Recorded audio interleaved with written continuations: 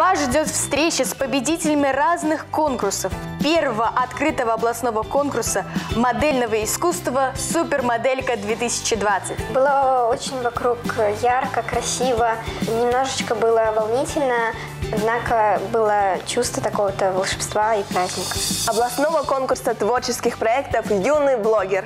Это второй конкурс юных блогеров, в который входило пять номинаций. Easy, Hobby Shop, э, Зожники, InFuture и Он. Республиканского молодежного проекта «100 идей для Беларуси». Мы хотим создать удобное, доступное приложение, которому аналогов в Республике Беларусь нету.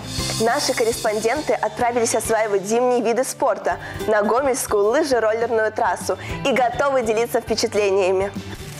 Я ожидала, что это будет гораздо легче. А вот все о безопасности во время зимних забав расскажет сотрудник МЧС Алексей Балахонов. Сейчас на улице довольно холодно, и когда ты идешь на горку, кататься на коньках, либо на лыжах, обязательно тепло одевайся. Арина Синенок и Ира Рудая в рубрике «Молодежная кухня» приготовят домашние бургеры и мохито без алкоголя. Все вываливается. Топ-5 классных семейных комедий киноман Дарья Чуйкова поделится своей подборкой. Об этом в нашей программе.